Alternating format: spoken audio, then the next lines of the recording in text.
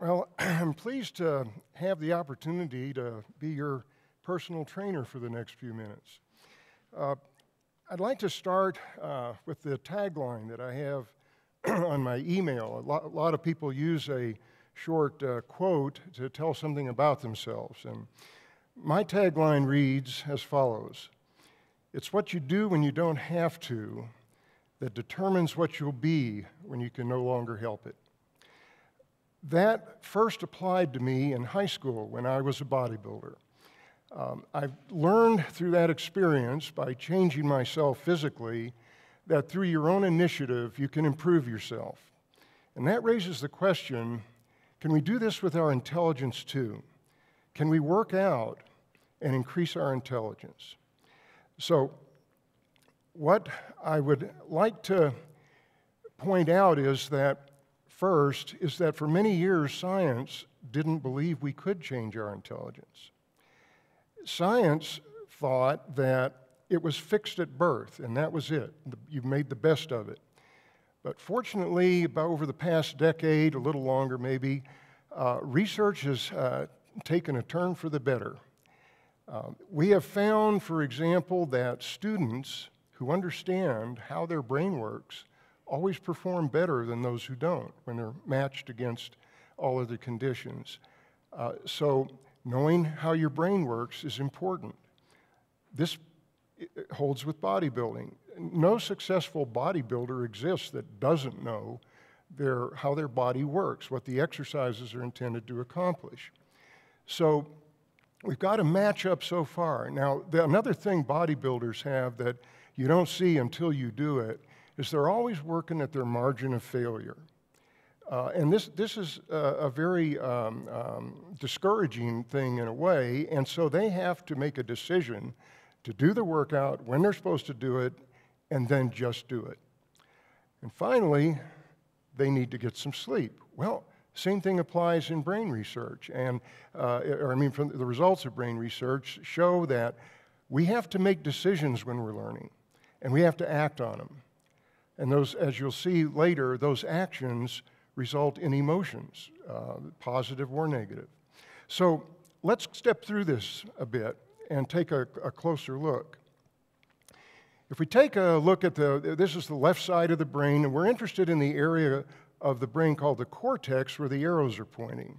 And I've labeled these skill areas for the simple reason that we can grow our intelligence in each one of these areas. So you're going to walk out of here having a whole different idea about what learning skill means.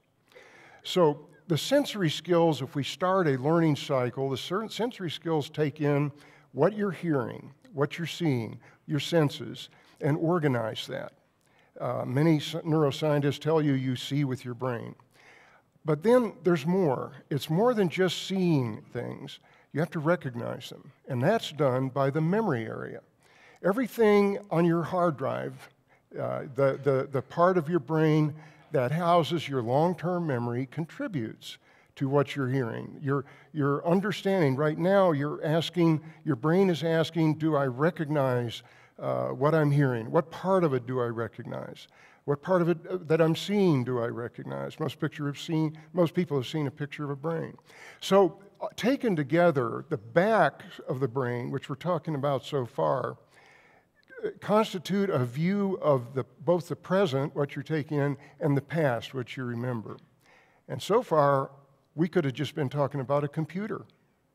Pretty much the same thing. Computers help us use the back of our brain better. But what makes us human is the front of our brain. The front of our brain is designed to make decisions.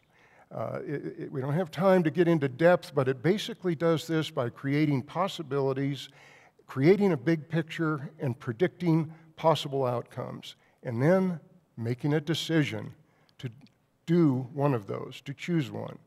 And then finally, the brain is designed to act. So that decision it leads to an action. Okay, so we have a learning cycle, the outcome of which becomes new input and the cycle continues. And so we basically never stop learning all day long. Now, so let's say we've worked out our brain this way. We've, we've spent some time in a learning cycle.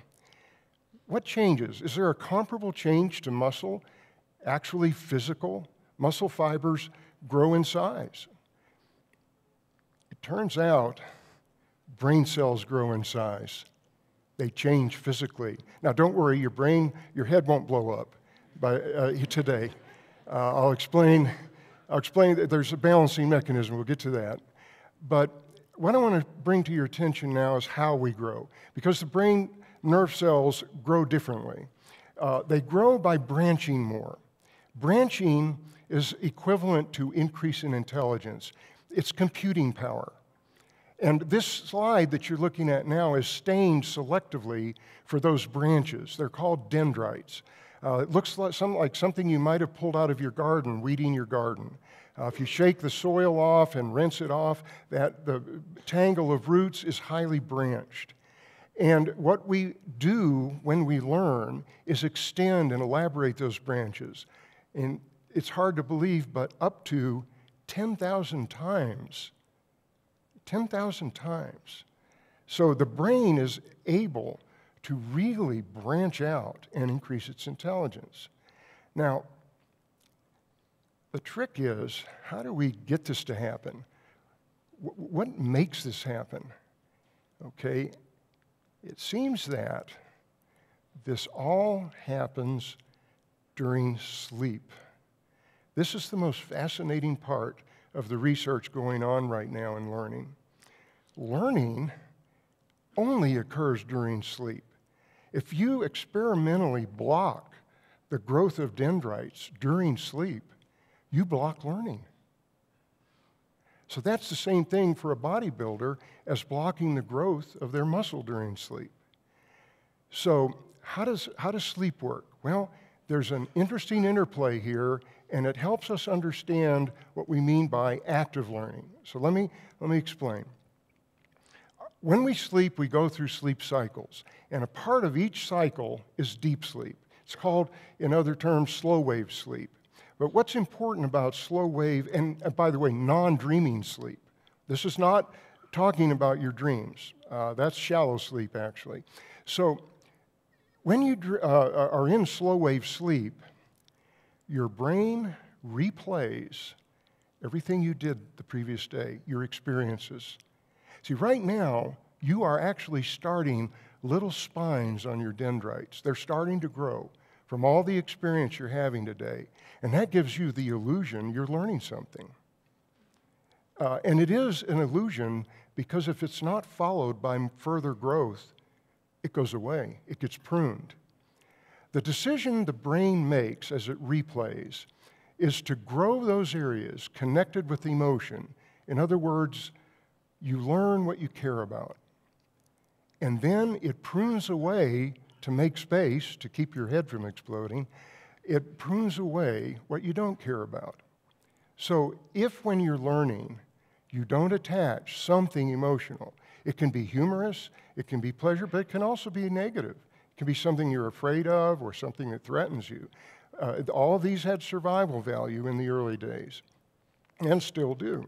So the, the brain then learns by growing dendrites in reacting to emotion.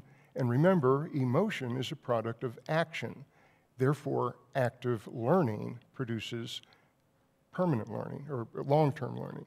So I'm coming now to the exit ramp, and I want to kind of go back over this to drive home some points by giving you some pointers, some tips. If you want to develop your sensory skills, the research in brain uh, research is showing that mindfulness meditation improves focus and attention. Uh, the uh, memory area of the brain uh, which is actually a problem for big picture learners. Uh, many of you out there recognize that you uh, learn first through a big picture. Well, but you have a lot of trouble with details. So the, the thing to do there is just expand your big picture. If you draw concept maps, draw a bigger concept map, attach more details, and you've solved it. Uh, the front of the brain is hard for people that are good with details. They don't spend much time up there. So the way to deal with that is to extend your learning.